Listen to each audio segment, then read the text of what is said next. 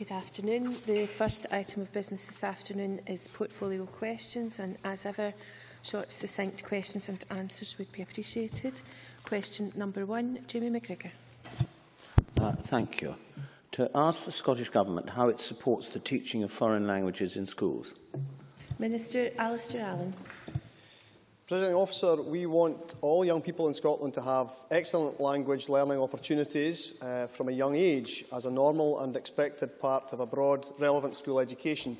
And that's why our 1 plus 2 languages policy is supporting local authorities and schools with significant extra funding, £9 million over two years, and it's why we're looking why we're working closely with Education Scotland, Scotland's National Centre for Languages and others to create the conditions where early and continued language learning becomes the norm. Jamie McGrigor. Um, yes, I thank the Minister for that answer. Does he agree with me and the findings of the Foreign Language Learning Inquiry conducted by the Parliament's European Committee last year that foreign language assistance can play a very important and cost-effective role in helping our school pupils learn a modern foreign language Do, does he therefore share my concern that the number of foreign language assistants in Scotland schools in 2013 to 14 was down by almost three quarters compared to 2005-2006? And what action will the Scottish Government take to reverse this situation and ensure as many pupils as possible can benefit from working with a foreign language assistant? Minister. Well, uh, I uh, share uh, the members' uh, uh, enthusiasm about the importance uh, of native speakers in the class. As he knows, I met with the, the cross-party group on German about this and other issues only last week. It is important to mention that in the last year or so that the numbers overall amongst language assistants has actually gone up. I appreciate there is much to be done, Um, but uh, there are also, it's worth saying, because I know his particular interest in German, 30 German trainees who've been brought into the, the system as well. And the Scottish Government works with the British Council and others to make sure that we continue to improve the, the availability uh, of modern language assistance throughout the, the school system. Thank you. Supplementary, Claire Adamson. Thank you, Presiding Officer. Does the Cabinet the Minister sorry, agree that the 1 plus 2 policy is the most ambitious language learning programme in the UK and that the economic and cultural opportunities that can be gained from learning a second or third language in addition to mother tongue are extensive? Minister. Well, yes, it is true that uh, the, the benefits are very extensive and indeed, and I think it, it's something that across the Chamber we can probably agree on that cognitively and culturally and economically it's in Scotland's interests that we develop a culture of language learning much earlier than has been the case in the past. I appreciate that will require a lot of work for all of us together within the education system, uh, but I believe uh, the end is, is very much worth doing that. Thank you. Question number two, Siobhan McMahon. To ask the Scottish Government what measures it is taking to combat bullying in schools. Alasdair Allan. Our national approach to anti-bullying, developed in partnership with stakeholders, sets out a common vision and aims to make sure that work across all agencies and communities is jointly focused on tackling all types of bullying. To support the implementation of the national approach, we have established and wholly fund Respect Me, uh, a national anti-bullying service to build confidence and capacity to tackle all types of bullying effectively. We are committed to refreshing the national approach uh, to ensure that it does remain current and reflects policy developments, and a working group will be set up early in 2015. Siobhan McMahon. I thank the Minister for that answer. The Minister will be aware of Enable Scotland's new campaign, Be the Change, which is aimed at tackling abusive and offensive language about people who have learning disabilities. Enable Scotland, working in collaboration with a number of partners, have developed a school resource for teachers of S1 and S2 pupils, which will raise awareness of learning disability and take an early intervention approach to promote positive attitudes to learning disability. Does the Minister therefore support Enable Scotland's campaign and what action will he take to encourage local authorities to implement the four-week lesson plan in secondary schools which will focus on educating children about learning disability from the 2015-16 academic year? Minister. Well, the, the member is right to point to the, the particular importance of ensuring that, that young people grow up with a, a respect for and an understanding of the issues faced by, by people with, with uh, uh, learning uh, disabilities. And I think one of the things uh, that the Scottish Government and the education system more generally now focuses on is, is uh, promoting positive behaviour. That's central to what we do uh, and it's central to our understanding of the, the kind of dignity uh, that everyone has to expect and should respect uh, as a right within our schools. Thank you. Question number three, Richard Simpson. To ask the Scottish Government what action it is taking to address teachers' workload issues. Alistair Allen. The Scottish Government is uh, working with teachers' representatives, local authorities and other partners to address teacher workload issues. This includes an unprecedented package of support and resources to implement Curriculum for Excellence, Our Curriculum for Excellence working group on tackling bureaucracy is taking forward a, a strong set of actions to support schools uh, in reducing unnecessary bureaucracy. Richard Simpson. Can I thank the Minister for that answer, but does he share the concerns of the EIS, who say that there is a workload crisis in our schools, Scottish schools, or with the NASUWT, who have said the Scottish Government is facing a ticking time bomb. The Cabinet Secretary's predecessor said that he wanted to maintain or increase teacher numbers, yet every year since 2007 there's been a decrease. In fact, there are 4,000 fewer than when the SNP took office. On top of that, cuts in classroom assistants and support staff. Teachers Union, are teachers' unions right to voice their concerns? And will the Cabinet Secretary inform Parliament whether he intends to reverse the cuts, maintain the current level, or to continue cut teacher numbers even further? Minister. Well, the numbers have stabilised since uh, 2011. The, the member is aware, of course, who the employers are. The employers are local authorities, and uh, the government does work with local authorities to ensure, as I'm sure local authorities also want to see, uh, that uh, numbers are maintained in line with the, the existing uh, teacher-pupil uh, ratio. I think in the broader issue of workload that he, he raises in his, his question, uh, I've never been uh, someone who tries to shy away from the fact that the introduction of a completely new set of qualifications has involved work for teachers. Um, but I think that the, the work that has been done uh, since the successful implementation of those qualifications to involve the teachers and the teacher unions in planning a way ahead is entirely positive. Supplementary, Colin Beattie. Does the Minister agree with the comments by Terry Lanagan, Executive Director of Education in West Dunbartonshire, at the Education and Culture Committee 30 September, where he stated that having worked in education for 37 years, that there has been no initiative in Scottish education during that time about which there has been more communication or more support? Minister. Well, I certainly do uh, welcome uh, the spirit uh, and content of those comments. Of course, they, they tie in with uh, other comments from elsewhere in the sector. For, for, for uh, instance, uh, Ken Cunningham, General Secretary of Schools Leader Scotland, uh, mentioned that the uh, preparation and consultation in that area, there's been more than uh, I can ever remember, and the amount of effort that's gone into this knocks uh, uh, the others into the corner. Again, I don't take away from the work that's been involved, but I think in all parts of the education sector, uh, the work that's gone in has been significant, and I think uh, uh, we have all benefited from that. Question number four, Angus MacDonald. To ask the Scottish Government what discussions it has had with Falkirk Council regarding its obligation to provide a flexible approach to parental choice for early learning and childcare. Aileen Campbell. Hmm. Government meets regularly with local authorities and discusses a range of issues that includes childcare. It is for each local authority to implement the provisions in the Children and Young People Scotland Act relating to early learning and childcare, taking into account local needs and priorities. The Act includes a new duty on local authorities to increase flexibility year on year based on consultation with representative local populations of parents and to publish plans showing how they are doing so. Angus MacDonald. I thank the Minister for a reply. She may be aware of a privately funded nursery which serves my area, the Little Stars Nursery, which has been trying for seven years to gain partnership status with Falkirk Council, but has been refused despite rating standards of four and five. Parents claim this is discrimination as it's denying their children access to local education services, and there's no doubt that Falkirk Council is falling short of the Scottish Government's objective in this regard. What can the Scottish Government do to ensure Falkirk Council enables proper parental choice through a flexible approach.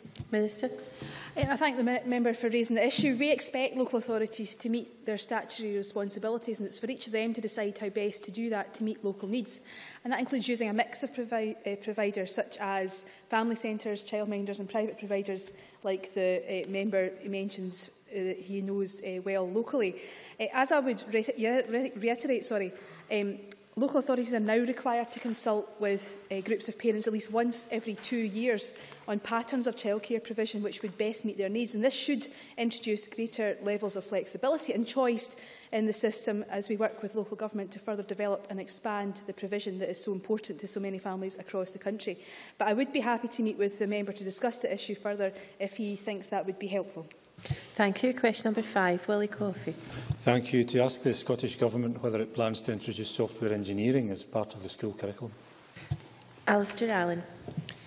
Curriculum for Excellence enables young people in schools to develop their skills and focus on the learning needed for our modern dynamic economy, consistent with the Developing Scotland's Young Workforce Agenda. Within the curriculum framework and through the suite of computing science national qualifications, learners have many opportunities to develop the understanding and skills which will enable them to take up careers uh, in software engineering and programming.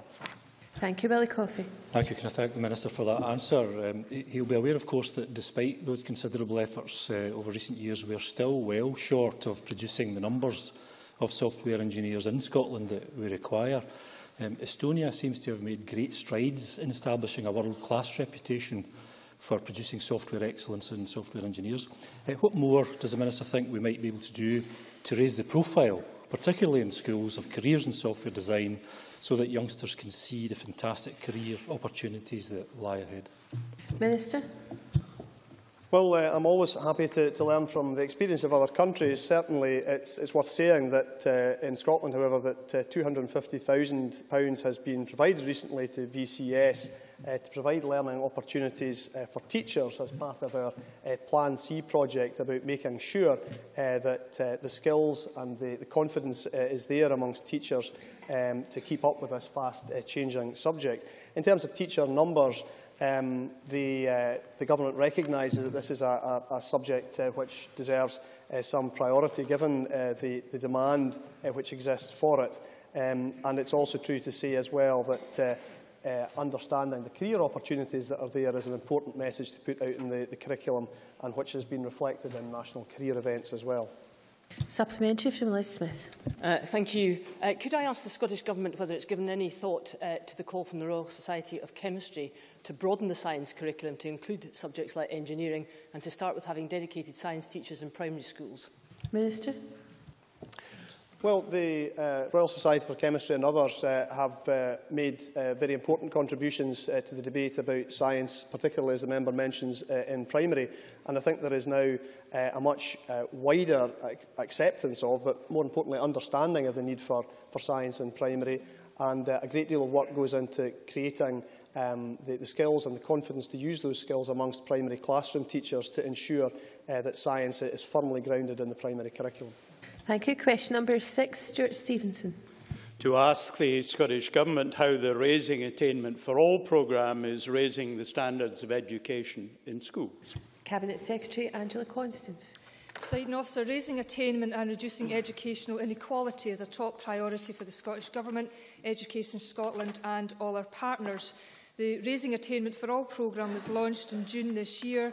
It involves over 150 schools from 12 local authorities The programme brings a structured approach to improvement into Scottish schools.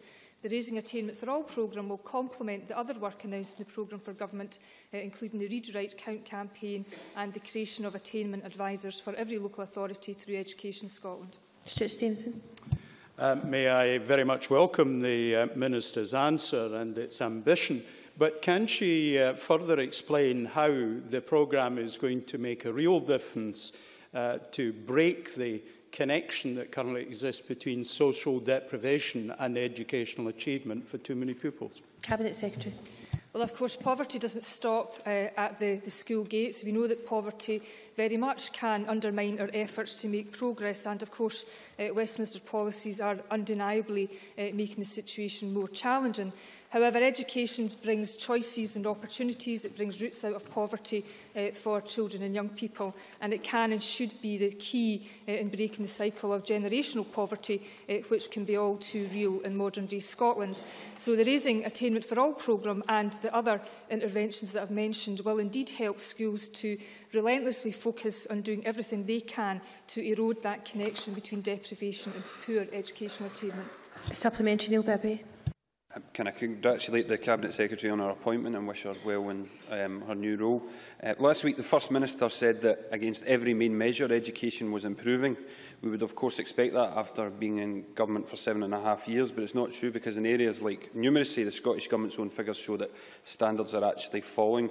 Can I therefore ask the Education Secretary whether she counts numeracy as a main measure of educational achievement and what action is the Cabinet Secretary going to take to address numeracy standards? Cabinet Secretary. Uh, absolutely. Uh, numeracy is an, an important priority.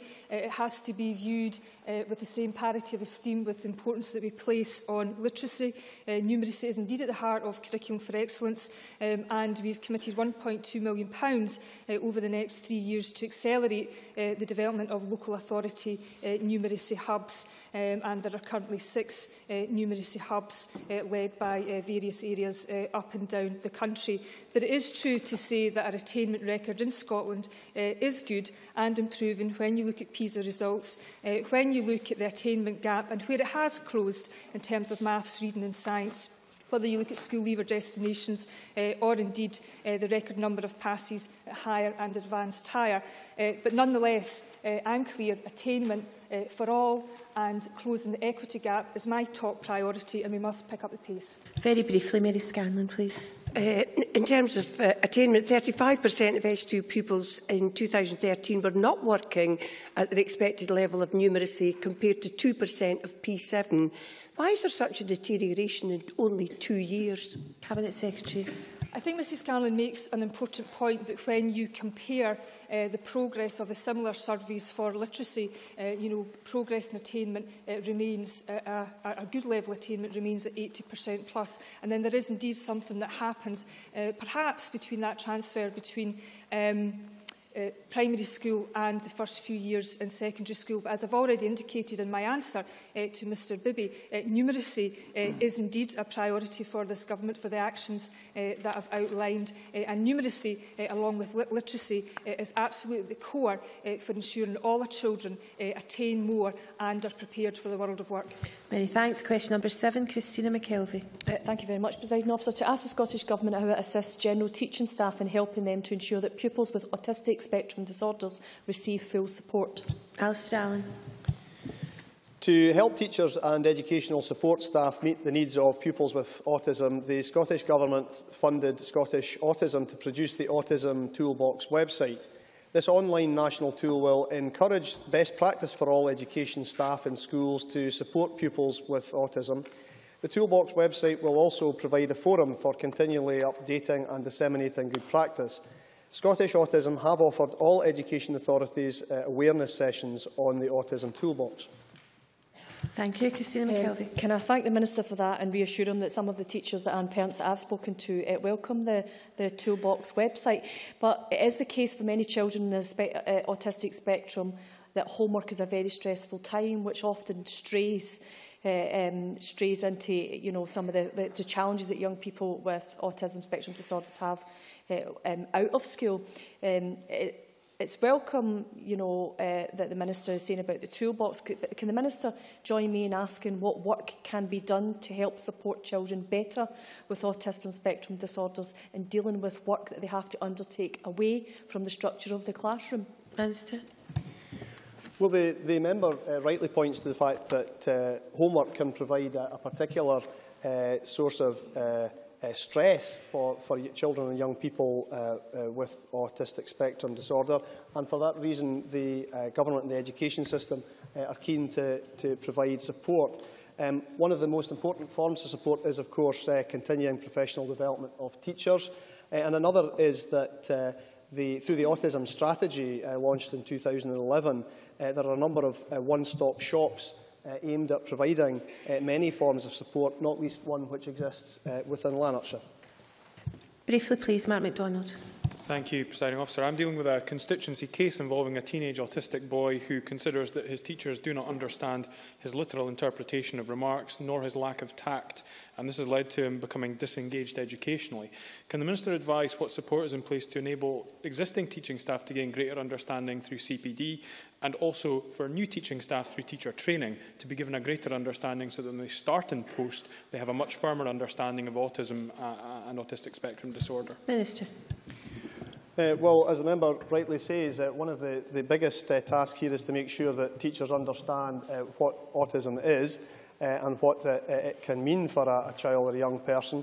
Uh, one uh, of the uh, central um, uh, tenets of the standard for full registration is that uh, teachers, new teachers identify barriers to learning which may exist and uh, respond to those appropriately. Uh, and the Autism Toolbox, uh, I believe, amongst many other functions, uh, does perform an important role uh, in ensuring that teachers understand what autism is. Thank you. Question number eight, Jane Baxter. Thank you. To ask the Scottish Government whether it will provide an update on the progress of the accompanying guidance for the Children and Young People Scotland Act 2014. Aileen Campbell. Statutory guidance on Part 6, the Early Learning and Childcare of the Children and Young People Scotland Act 2014, was published in August 2014 to coincide with Part 6 coming into force. The remaining statutory guidance to accompany the Act will be formally consulted on prior to publication with the appropriate timescales ahead of commencement of the relevant parts of the Act. Thank you, Jayne Baxter. I thank the Minister for that answer. The Minister will know from her recent meeting with the Scottish Kinship Care Alliance how strongly kinship carers feel about some of the proposed changes to the support they receive. The GIRFEC provisions within the Children and Young People Scotland Act are vital for many kinship carers. Could the Minister give more detail on the guidance being developed around the child's plan and any other aspects of the GIRFIT guidance which could determine what support will be available to kinship care families? Minister. Um, yeah, I thank the, the member for her um, replies and I might be able to follow some of this, the more detailed issues around uh, the, the implementation and the consultation on guidance in, in writing to her, but certainly the statutory guidance on parts 4, 5 and 18 of the, child, uh, of the Act, which includes child's plan and well-being, uh, will be we, can, we intend to consult on from February to April next year, uh, which I think should give some clarity for the kinship carers as well. Not least as well, we'll be um, bringing forward consultation on the guidance that's to accompany the kinship care order as well for the Act. But I'm happy to continue to engage with the member on the different timescales for the different parts of the Act, which all have their own uh, different uh, times of commencement. So um, I'll, I'll keep in touch with the member on those uh, points. Many thanks. Question number nine has been withdrawn for understandable reasons. So I turn to question number 10, James Dornan. To ask the Scottish Government for an update on its Getting It Right for Every Child strategy. Aileen Campbell. Uh, the key driver of our Getting It Right for Every Child approach is the Children and Young People Act, which received royal assent in March this year. The GIRFEC duties in the Act are to be implemented in August 2016. Thank you. James Dornan. Thank the Minister for that answer. Does she agree with me that a large share of the credit for the success of GIRFEC to date is the role that voluntary bodies such as Home Start, which does invaluable work in my constituency, play in the strategy? Will the Minister agree to visit Homestart to see for herself the good work they do? And will she update the Chamber on what the Scottish Government is doing to continue to ensure that this aspect of GIRFEC continues to thrive? Minister. I thank uh, the member for raising the, the good work that Homestart has done in his constituency and I'm also aware of the good work that happens in other parts of this country as well, not least in the Highlands, to support families with young children, helping to ensure that parents have the skills and the confidence necessary to build better lives for their children. And the work that the Home Start and other non-statutory bodies do is indeed a crucial component of getting it right for every child and young person in Scotland. And that's why we have a number of key relationships with a number of, of groups and organisations that are taking forward the good work that um, uh, James Dornan um, outlines is being carried forward by the Home Start. In terms of a, a visit, I am happy to take forward a visit. I'm not sure if it will be me or it could be my maternity replacement, Fiona MacLeod, but nonetheless, regardless of who it is, we would both be uh, very pleased to come and uh, see the work that James Dornan has raised today in the Chamber. Many thanks. Question number 11, Neil Findlay. To ask the Scottish Government what action it has taken to encourage people to attend further education courses. Cabinet Secretary Angela Constance. Our reforms mean courses are increasingly tailored to student and employer need, uh, making them more attractive to people who want to progress to good jobs or further study. The Developing the Young Workforce programme will build on this, providing more and better pathways for people to benefit from a first-class vocational education closely linked to labour market need. Neil Findlay. Often it's uh, short, non-certificated course, courses that is enough to begin a person's journey back into education. The Minister will know that her government's 140,000 cut in college places is having a serious impact on adult education. What is the Government doing to support adults into the FE sector and support courses that were crudely and outrageously described by some of her colleagues as hobby courses? Cabinet Secretary. While the Scottish Funding Council has undoubtedly moved away from very short courses, uh, nonetheless, very short courses remain where they have um, a huge benefit in terms of access or indeed have uh, an economic benefit. So it's not true to say uh, that we've moved entirely away uh, from very short courses. They do still exist. Uh, and of course, we've worked hard to get the right balance of provision. I make no apologies for prioritising young people uh, because it is indeed young people at the end of the day who are always hit the hardest in times of recession and we should be proud of our record uh, in terms of young people and further education, more young people studying full-time courses that lead to recognised qualifications that boost their prospects of actually getting good work and sustainable employment at that. Thank you. Question number 12, Gavin Brown. Thank you, Presiding Officer. To ask the Scottish Government what the budget priorities are for the education and lifelong learning portfolio in 2015-16. Cabinet Secretary Angela Constance. The First Minister made clear last week in publishing the programme for government that attainment is our top priority. Uh, the full budget priorities are set out in the budget document published on the 9th of October 2014. Gavin Brown. Thank you. Um, what happens in real terms to the higher education resource budget in 2015-16? Cabinet Secretary. The Scottish Government is very proud to continue to be investing £1 billion in higher education. That's uh, £1,041 uh, million. Pounds. Uh, uh, within that, we have indeed asked the Scottish Funding Council to keep back, not to allocate uh, £22 million. Pounds. That represents uh, 2% of the budget. Uh, we want to ensure that we have the flexibility as we move forward uh, with our ambitions uh, for uh, post-16 education and training. And there is a commitment uh, to maintain uh, the, the unit resource for teaching. Thank you. Question number 13, Mike MacKenzie. Ask the Scottish Government how much will be invested in the programme Scotland Schools for the Future. Alasdair Allan. £1.8 billion pounds will be invested in the Scottish Government's Schools for the Future programme in partnership with local authorities and will see the construction of 91 new schools. Further projects to benefit from a fourth phase of the programme will be announced in December, taking this figure well in excess of 100 schools built for over 60,000 pupils by March 2020. Mike McKenzie. Thank the Minister for that answer. I wonder if he could outline how many schools in the Highlands and Islands region will benefit from this funding. Minister. Uh, the Scottish Government have committed uh, to providing Highland Council with funding of almost £26 million for two secondary schools, that's uh, Wick and Inverness Royal Academy, uh, and moreover, uh, through the uh, phase four of the programme, Highland Council will receive a further £10 million uh, for a new 3 to 18 campus, which will encompass uh, schools at uh, Tain Royal Academy, Craighill Primary, uh, Knockbreck Primary and St Duffus. Many thanks. Question number 14, Kenneth Gibson. Thank you, Presiding Officer. Uh, to ask the Scottish Government what consideration it is given to making school inspections without giving prior notice. Alistair Allen.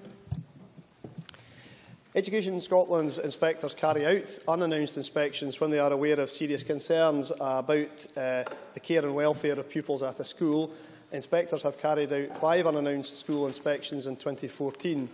Education Scotland is currently discussing with its stakeholders how to develop school inspections for the future. Kenneth Gibson.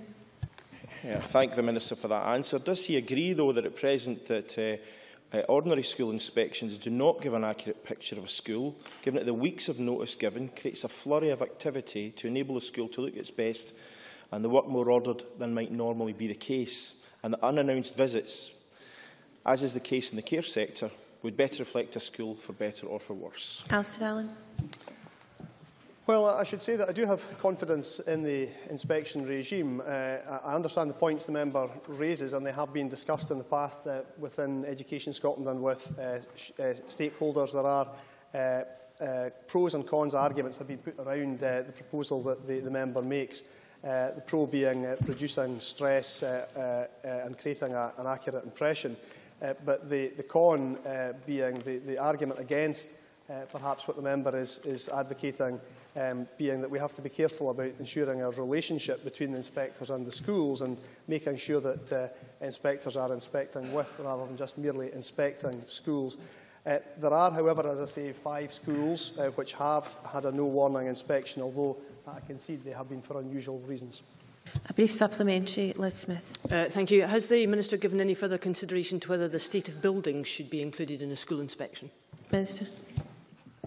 The uh, responsibility for uh, assessing uh, the state of buildings uh, does lie with local authorities, uh, but it is worth saying that the, uh, the work and the money which has gone in essentially has uh, very significantly reduced uh, the number of uh, schools which are in either C or D condition, uh, and the number of pupils which are currently in a, a Condition C building uh, is now 104,000, uh, Condition D uh, 6,000, which are very significant reductions uh, on previous years.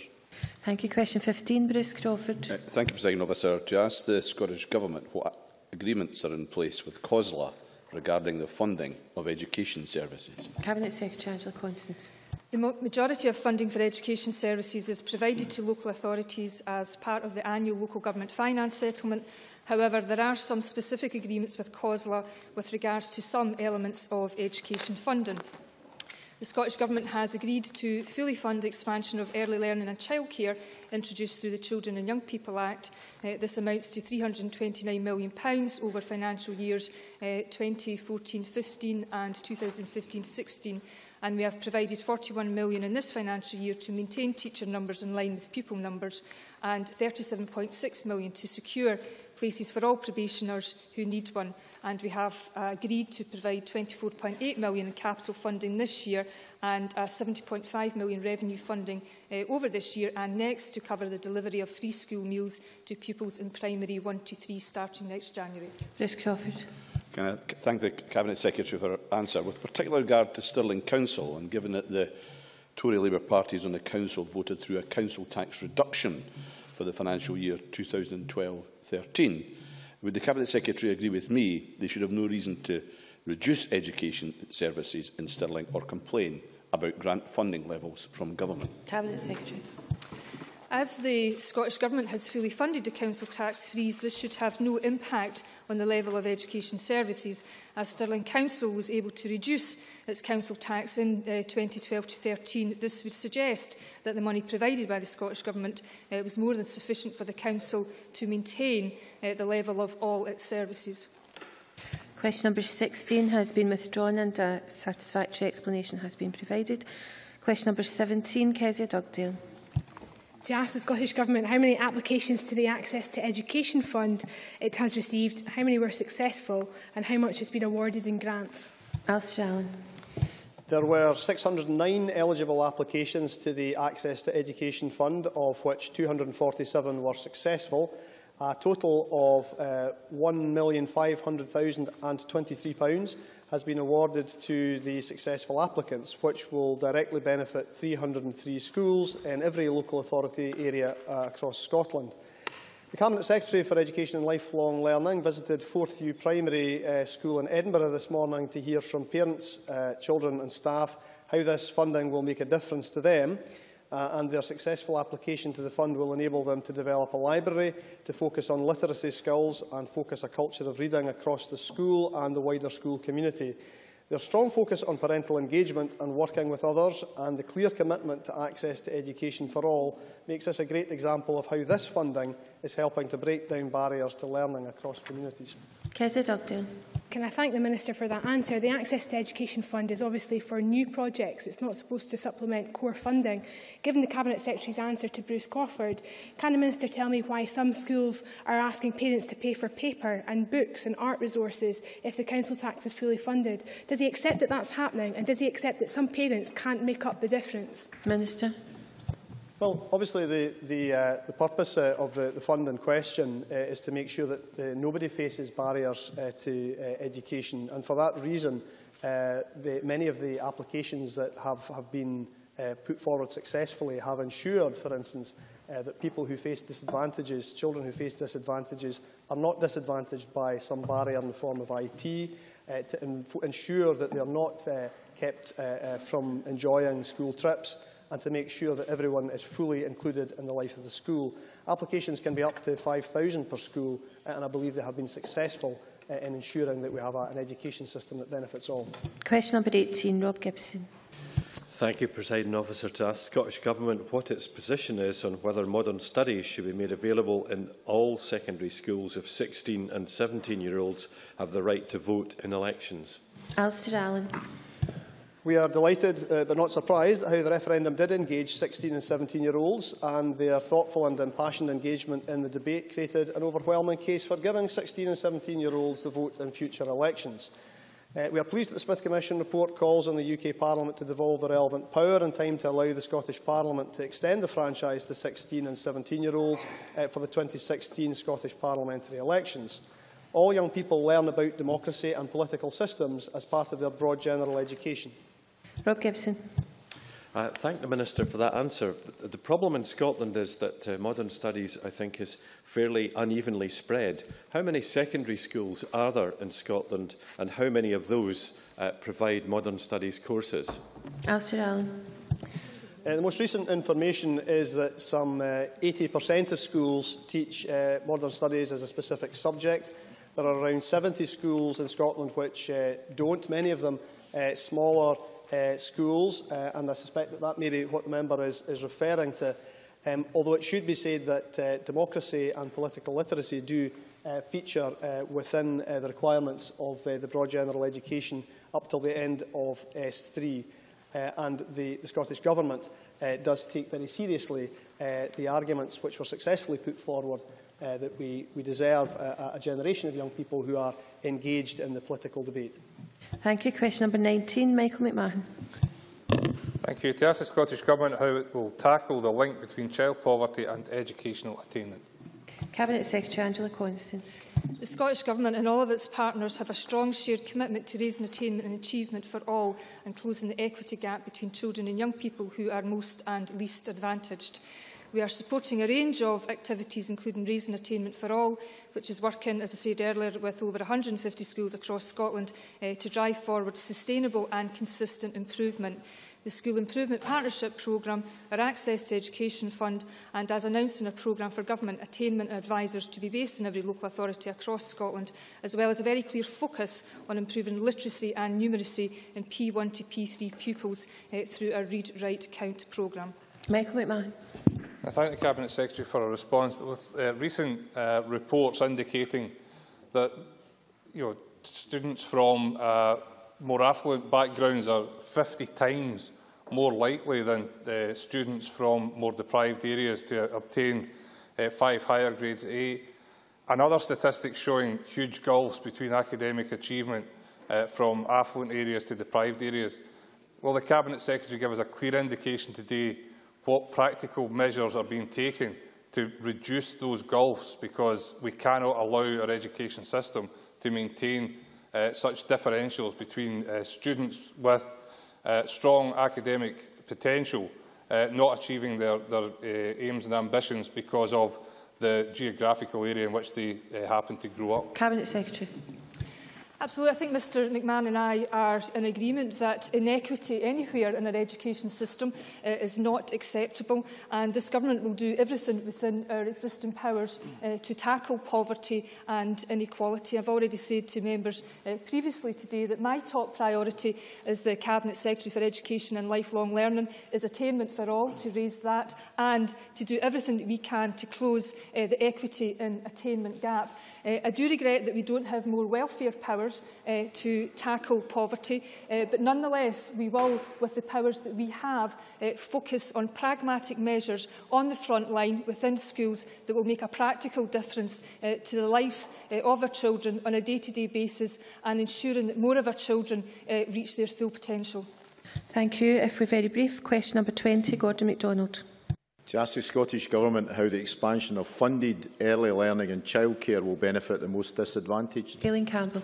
Through the Children and Young People Act, we are investing £329 million in this financial year and next to expand annual funded early learning and childcare for three and four-year-olds to 600 hours. That represents an increase which will save families up to £707 per year per child And we've extended this entitlement to our most disadvantaged two-year-olds, with around 15% becoming eligible in the current school year, rising to 27% next year. That's more than any of our, our predecessors have done and more hours of childcare than in any other part of the UK. Briefly, please, Mr MacDonald. I thank the Minister for that answer. Could the Minister outline what the Scottish Government is doing to raise awareness of funded childcare to parents and carers? Minister launched the second phase of our marketing campaign to raise awareness amongst parents and carers of the expanded childcare entitlement. That follows an initial phase of public information that happened in the summer. And this uh, new uh, launch of this campaign coincided with the Cabinet Secretary's visit to Melville Street Nursery in Edinburgh, uh, which I hope will address some of the concerns the member raises. Many thanks. That concludes questions. I may now move to the next item of business. I'd ask members to change places as quickly as possible. Thank you.